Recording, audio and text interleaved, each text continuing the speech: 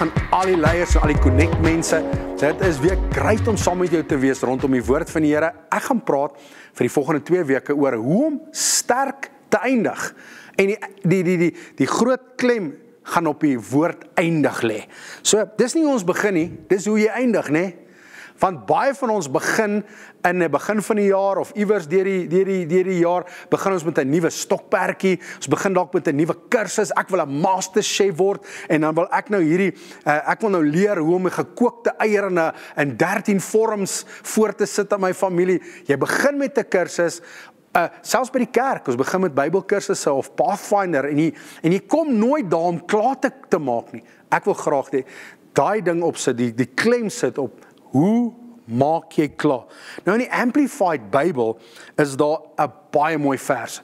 Is in 2 Timoteus 1 vers 7. Nou hy sê in die Amplified so, hy sê I have I have fought the good fight. I have finished my race. I have kept I have firmly held on to the faith. So hier praat Paulus, hy sê duidelik, jy is elke dag in 'n goeie geveg. Jou vlees is teen jou gees. En jou dit wat jou vlees wil doen en dit wat jou gees wil doen is baie keer in kontras mekaar. Het jy al agtergekom as jy baie keer in 'n kerkdiens sit en die worship is daar, dan vang jy jouself dat jy net deur die woorde sing, maar jy jy's nie daar nie, jy's nie present nie. So wat ek hier hier wil sê is Jou gees en vlees is heeltyd in opstand aan mekaar. Jou gees sê kom worship die Here, jou vlees sê ek is nou moeg. Jou jou vlees, jou jou een deel van jou vlees sê kom ons kom by die gym uit. Die ander nee, ons gaan later by die gym uitkom.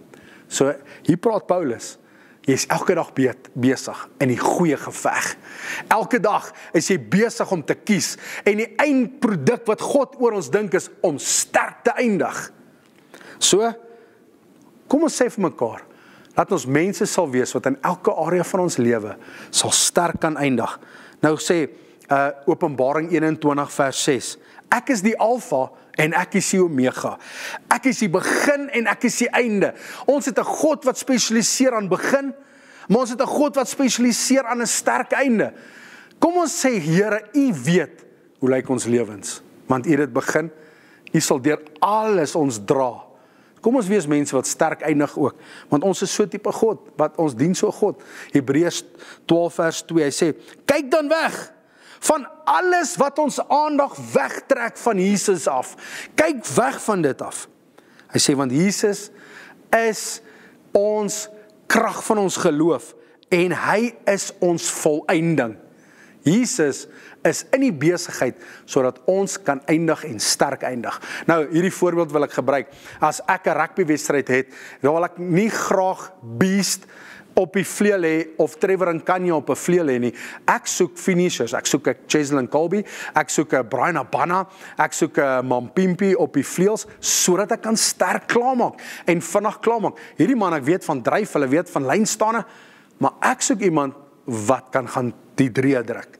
So die Here Jesus het ons elkeen gedagte toe hy ons gemaak het. Hy sê hy wil daar wees saam met ons deur elke ding in ons lewe. So Filippense 1 vers 6 sê hy wat die goeie werke in jou en in my begin het, wil dit volëindig. Die Here het elke dag het hy 'n hoopvolle toekoms oor ons. Hy wil hê ek en jy daar weer met die dinge wat ons begin het geestelik uh, emosioneel, fisies, dinge wat jy besluit het. Hy wil graag sien dat jy dit sterk klaarmaak. Kom ons doen 'n gebed saam. Here, help ons, ons wat hierna luister dat dit wat ons begin in ons lewe. Ons begin met baie dinge, Here. Help ons dat ons sterk klaarmaak.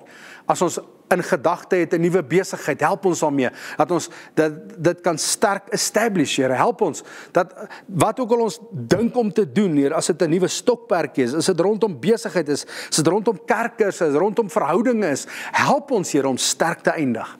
Want U weet presies, want U is die Alfa en die Omega. Seën almal wat hierna luister in Jesus naam. Amen.